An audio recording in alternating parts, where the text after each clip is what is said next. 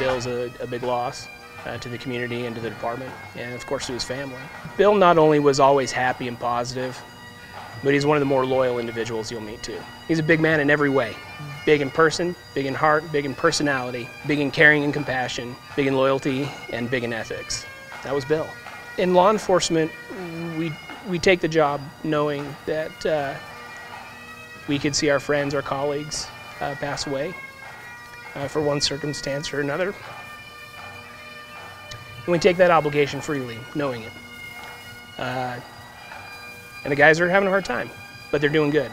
And uh, they're having a hard time, especially because of who Bill was and how uh, important he was to the department and our morale.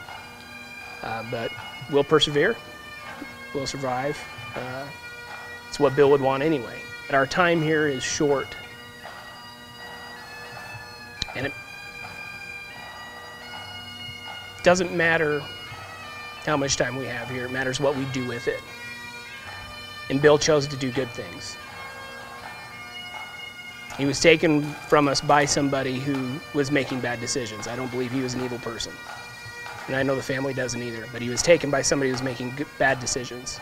And Bill was making good ones.